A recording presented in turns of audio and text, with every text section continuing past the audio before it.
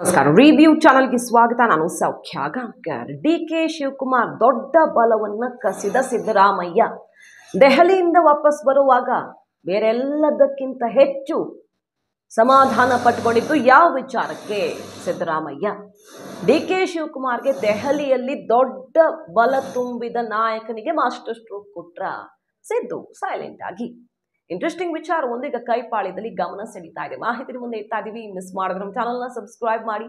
Bell button click ಮಾಡಿದ್ರೆ ಎಲ್ಲ updates ನಿಮ್ಮನ್ನು ತಲುಪುತ್ತೆ. ವೀಕ್ಷಕರೇ, ಸಿದ್ದರಾಮಯ್ಯ ಮತ್ತು ಡಿ ಕೆ ಶಿವಕುಮಾರ್ ನಡುವೆ ಸಿಎಂ ಕುರ್ಚಿಗಾಗಿ ನಾಲ್ಕು ದಿನ ಜಟಾಪಟಿ ಆಯಿತು. ಯಾರು ಅಂದ್ಕೊಂಡಿರಲಿಲ್ಲ ಡಿ ಕೆ ಶಿವಕುಮಾರ್ ಈ ಹಂತಕ್ಕೆ ಪಟ್ಟು ಹಿಡಿದು ಕೂರಬಹುದು ಅಂತ. ಹಾಗಾದರೆ ದೆಹಲಿಯಲ್ಲಿ ಇಷ್ಟು ಮಟ್ಟಿಗೆ ಡಿ ಕೆಗೆ ಬಲ ತುಂಬಿದ ನಾಯಕ ಯಾರು?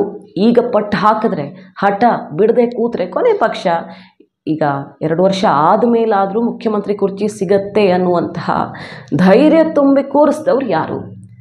ಬರೀ ಆ ನಾಲ್ಕು ದಿನದ ಫೈಟ್ಗಷ್ಟೇ ಅಲ್ಲ, ಮುಂದಿನ ದಿನಗಳಲ್ಲಿ ಕ್ಯಾಬಿನೆಟಲ್ಲಿ ಡಿ ಕೆ ಶಿವಕುಮಾರ್ ಪ್ರತಿಯೊಂದು ಪಟ್ಟಿಗೂ ಕೂಡ, ಪ್ರತಿಯೊಂದು ಮಾತಿಗೂ ಧ್ವನಿಗೂಡಿಸಬಹುದಾದ ಬಲ ತುಂಬಬಹುದಾದಂಥ ನಾಯಕನಿಗೆ ಸಿದ್ದರಾಮಯ್ಯ.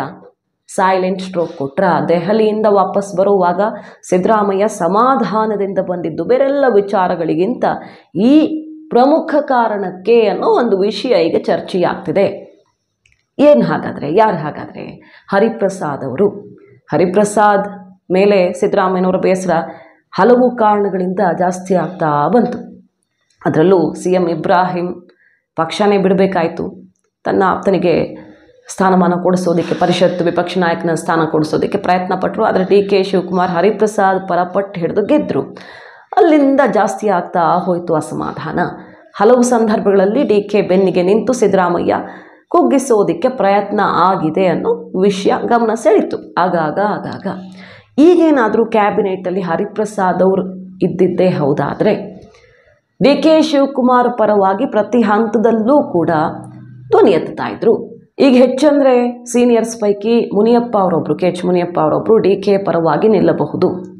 ಲಕ್ಷ್ಮೀ ಹೆಬ್ಬಾಳ್ಕರ್, ಸುಧಾಕರ್ ಬೇರೆ ಮೂರ್ನಾಲ್ಕು ಜನ ಡಿ ಕೆ ಕಡೆಯಿಂದ ಕ್ಯಾಬಿನೆಟ್ ಸೇರಿರುವಂತಹ ನಾಯಕರೇನಿದ್ದಾರೆ, ಅವರು ಅಷ್ಟು ದೊಡ್ಡ ಪ್ರಮಾಣದಲ್ಲಿ ಬಲಪ್ರಯೋಗ ಮಾಡೋದಕ್ಕೆ ಸಿದ್ದರಾಮಯ್ಯನವರ ವಿರುದ್ಧ ಧ್ವನಿ ಎತ್ತೋದಕ್ಕಂತೂ ಸಾಧ್ಯ ಇಲ್ಲ ಈಗಿನ ಸಂದರ್ಭದಲ್ಲಿ. ಸೊ ಹರಿಪ್ರಸಾದ್ ಅವರು ಇದ್ದಿದ್ದರೆ ಡಿ ಕೆ ಶಿವಕುಮಾರ್ ಅವ್ರಿಗೆ ಇರ್ತಾ ಇದ್ದ ಬಲವೇ ಬೇರೆ.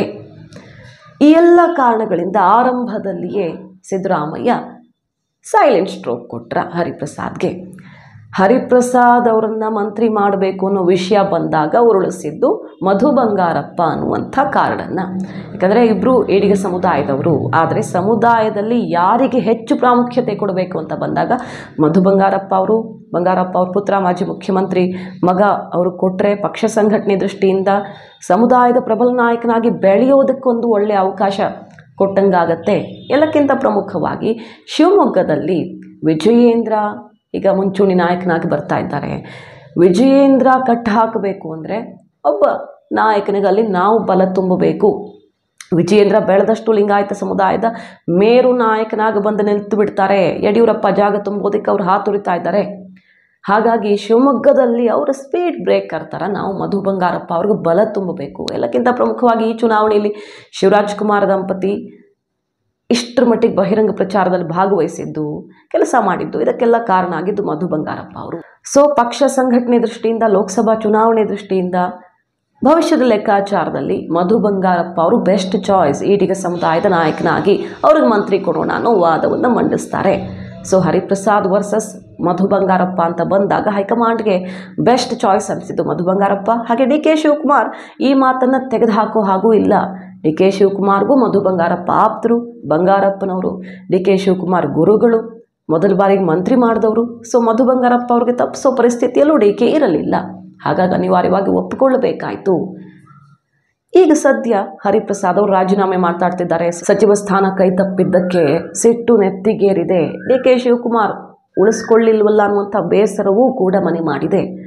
ಸೊ ಸೈಲೆಂಟ್ ಆಗಿದ್ದುಕೊಂಡೆ ಸಿದ್ದರಾಮಯ್ಯ. ಕ್ಯಾಬಿನೆಟ್ ವಿಚಾರದಲ್ಲಿ ಬಹಳ ಜಾಣ್ಮೆ ನಡೆಯನ್ನು ಅನುಸರಿಸಿದ್ರ. ಯಾರು ತನಗೆ ಪ್ರಬಲ ಪ್ರತಿರೋಧ ಒಡ್ತಾರೋ ಅಂಥವರನ್ನು ಹೊರಗಿಡುವಲ್ಲಿ ಯಶಸ್ವಿಯಾದ್ರ, ಈ ಮೂಲಕ ಡಿ ಕೆ ಶಿವಕುಮಾರ್ ಅವ್ರನ್ನ ವೀಕ್ ಮಾಡಿದ್ರ. ಕುತೂಹಲಕ್ಕೆ ಕಾರಣ ಆಗಿದೆ. ಇದೊಂದು ವಿಷಯ. ಸದ್ಯ ಗಮನ ಸೆಳಿತಿರೋದು ಹರಿಪ್ರಸಾದ್ ಅವರು ಸಿಡಿದೆದ್ದಿರೋದ್ರಿಂದ. ಮಾಹಿತಿ ನಿಮ್ಗೆ ಇಷ್ಟ ಆಗಿದ್ರೆ ಮಿಸ್ ಮಾಡಿದ್ರೆ ನಮ್ಮ ಚಾನಲ್ನ ಸಬ್ಸ್ಕ್ರೈಬ್ ಮಾಡಿ ಬೆಲ್ ಬಟನ್ ಕ್ಲಿಕ್ ಮಾಡಿದ್ರೆ ಎಲ್ಲ ಅಪ್ಡೇಟ್ಸ್ ನಿಮ್ಮನ್ನು ತಲುಪುತ್ತೆ. Thank you